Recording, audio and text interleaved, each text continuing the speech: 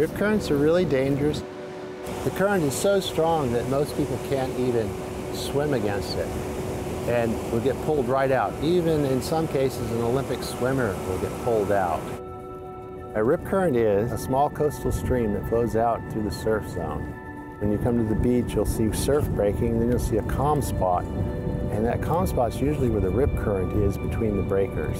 It's deceiving because that area is the calmest, and it's where most people would think, well, this looks like a good place to wade. That area is the dangerous part. Where you really want to go where the waves are the biggest. Ocean Beach is a very dangerous beach, and it's considered one of the most dangerous beaches because of the rip currents on the beach. See the drainage into here, the holes, the shallow area? The wave's gonna come up in here, and it's gonna all channel into here. It'll snap and it'll flow out to find the least path of resistance, basically, and that'll be a little channel going out. It doesn't have to be a huge channel. It just has to be a depression in the sand, the topography below the water. It can go anywhere from two meters a second to eight meters a second. So that's why you need to pay attention to the ocean and not, not get sucked into these things. When you go to the beach, go with a friend, go with a buddy. Someone keep an eye on you and you keep an eye on them.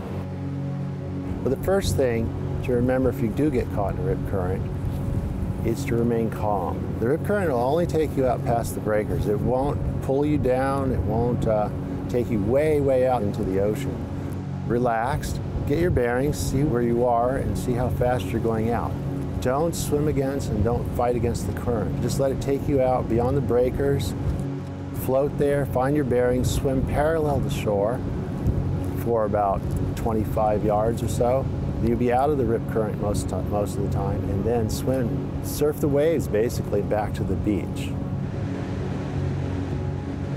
On all the beaches in California, you should always look out for the ocean. You should never turn your back on the ocean, and if you can't swim, you should never go in the water. You should always learn to swim. If you're wondering about going out, don't go out. When in doubt, don't go out.